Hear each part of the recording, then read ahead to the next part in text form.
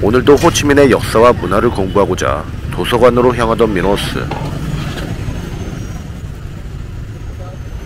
36도를 넘나드는 무더위 속에서 비릿한 해산물 냄새가 나의 코를 잡아 끌었소.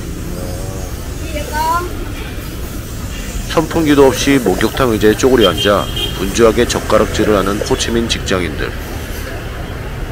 과연 얼마나 맛이 있길래 마치 소가 되새김질하듯 얼마나 맛있길래 꾸역꾸역 입속에 쳐 넣는 것인지 서서히 궁금해지기 시작했어.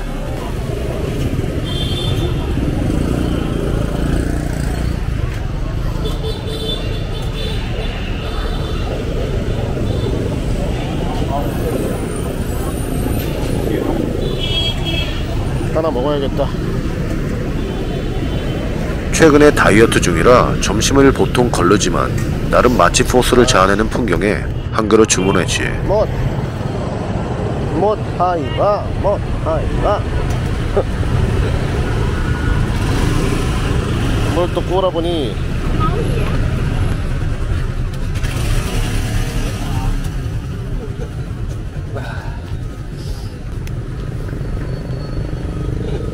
맛있겠다. Thích ra quay 아? 뭐? 오케이 아 오토바이들이 매연을 내뿜는 사거리에 위치했지만 접근성이 좋고 포장 주문도 많아서 쉴 틈이 없는 대박집이야. 남편은 먹고 난 테이블 정리, 여편에는 조리 담당, 남동생은 주방 보조, 아들내미는 서빙 등 나름 체계를 갖추고 있지. 너 대주겠네 사실 식탐보다는 호기심에 찾은 식당이었는데 맨손으로 국수를 주무르는 모습에 없던 식욕이 다 사라졌지. 아니 더럽게 손으로 먹어도 되는 건가 이거?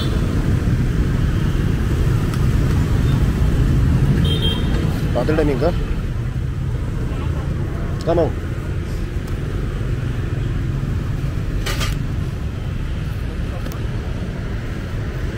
이렇게 넉넉한 인심에도 나는 벌써부터 이곳에 방문한 것을 후회하고 있었는데 그도 그럴 것이 아짐의 손엔 정체를 알 수 없는 국수가랭이가 생기를 잃은 채 달라붙어 있었고 주방의 바닥에 자리 잡은 하수구 맨홀 뚜껑 구멍 사이로 스멀스멀 오물 냄새가 올라오고 있었으며 어떤 물에서 수경 재배했는지 출처가 의심스러운 각종 야채들이 내 국수 사발을 장식했기 때문일 거야. 정체불명의 이거 뭐야 두부 토마토. 코리아? 코리아. 한국 한 젓가락 먹고 버릴까 말까 고민 중인 내 마음도 모른 채. 불타오르는 여심을 넉넉한 인심과 함께 투척하는 아지매 잠깐만 아씨 어디서 먹어? 아 뜨거. 여기? 어어 어. 멀리서 나에게 손짓하며 오라고 한 아재는 방금 전 그녀의 남편 잔반 처리 30년 경력의 베테랑이지. 아름다운 사람은 머무른 자리조차 아름답다고 했건만 머물렀던 자리가 이렇게 개판 일보 직전인 이유는 다들 말 안 해도 알 거야.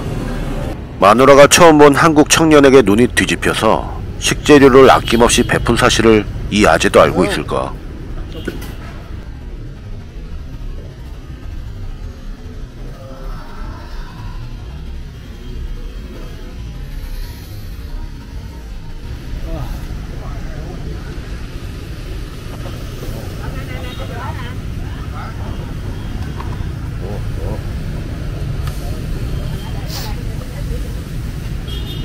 아 뜨거 씨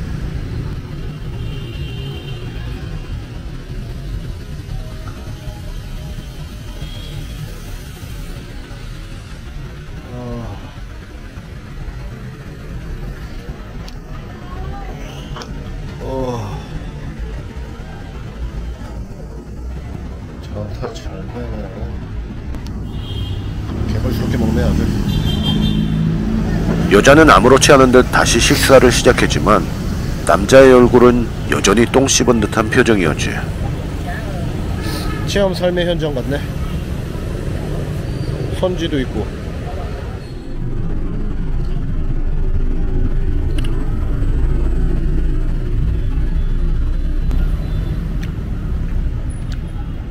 푸짐하게 들어간 내용물과는 별개로 각각의 식재료가 입에서 따로 노는 듯한 느낌의 국수. 차라리 군더더기 없이 필요한 재료만 알차게 들어간 한국의 잔치국수가 내 입맛에는 딱일 듯해.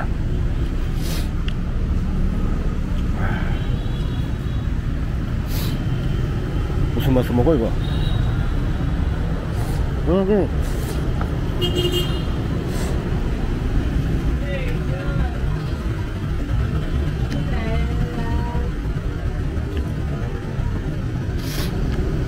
맛 없는데? 왕기초 베트남어 회화를 공부 중인 관계로 나지막하면서 송곳 같은 그들의 대화에 체할 지경이야. 어묵이고 그나저나 이 무더위에 생선 썩은 내를 연상시키는 느엉만 소스에 담궈 먹는 건 상당한 용기가 필요한 듯해. 단단히 삐져있는 새신랑은 아무 말 없이 식사만 하고 철없는 새 신부의 신경은 온통 내 쪽으로 쏠려 있었지.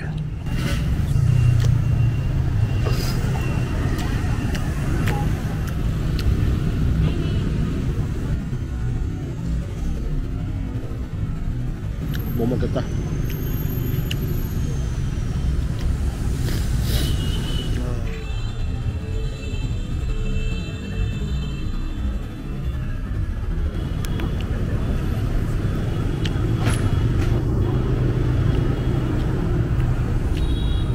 아우 맛 더럽게 없네 이거.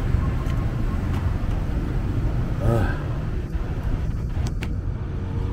무슨 맛으로 먹어 이거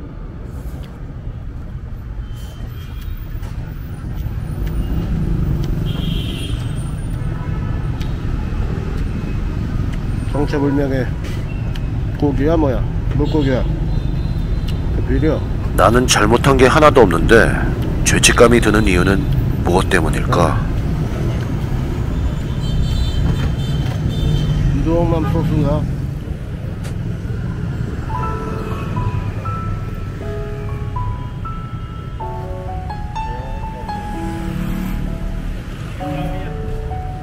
음,